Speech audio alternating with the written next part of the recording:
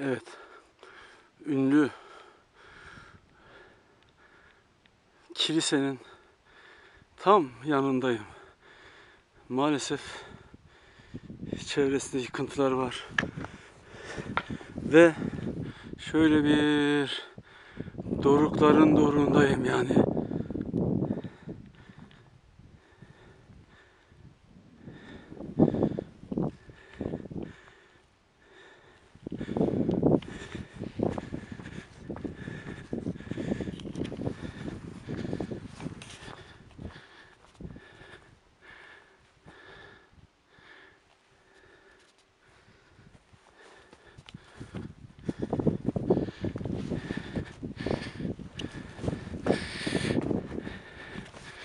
Evet.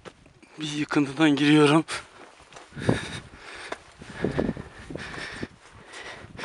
Kilisenin bir içine girmiş oldum böylece.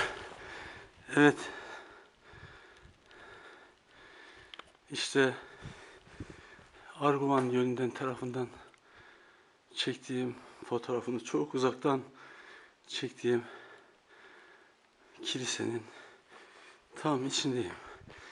Burası bir insanlık mirası. Bu kiliseyi yapan insanların, kilisede ibadet eden insanların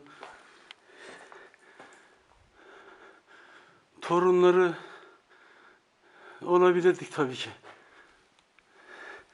Bütün dinlere saygılıyız, bütün inançlara saygılıyız, saygılıyız. Önünde eğiliyorum. Ne büyük bir inanç ki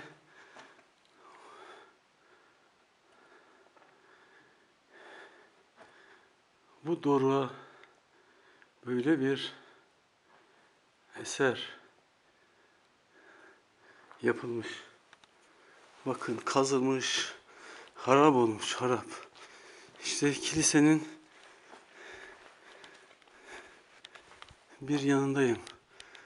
Buralara insanlar gelmiş.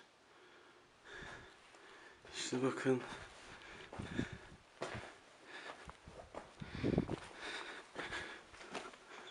Bildiğimiz böyle kalelerdeki pencerelere benziyor. Güvenlikli, çevreyi gözetleyen kaleler, pencereler. Bakın buralarda da yıkıntılar var. Hazine arayan insanlar tarihi yok ediyor. Bakın yıkıntıdan dışarıya bakıyorum ne kadar büyük bir yükseklikte olduğumuzu